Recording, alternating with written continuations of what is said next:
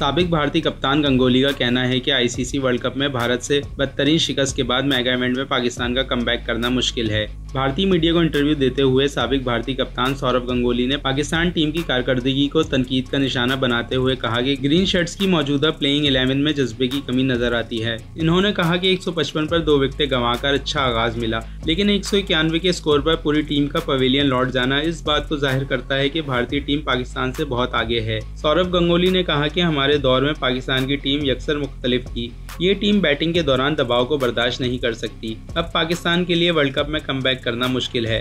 पाकिस्तान ने अब तक पाँच मैचों में से दो में फतुहात समेटी हैं, जबकि तीन में भारत, ऑस्ट्रेलिया और अफ़गानिस्तान के हाथों बदतरीन शिकस्त का मुँह देखना पड़ा।